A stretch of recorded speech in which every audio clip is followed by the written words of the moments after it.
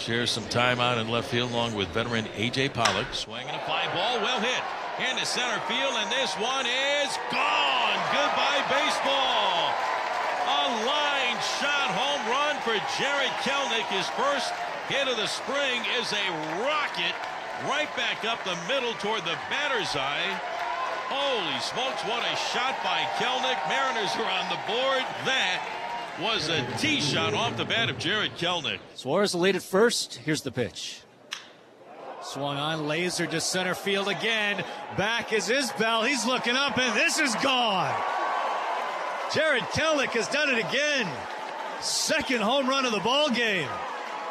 The Mariners take a couple back. It's five to four. And the Mariner fans behind the dugout on their feet, they love this as Kelenic has walloped his second long ball of the game. What a day for Jarred.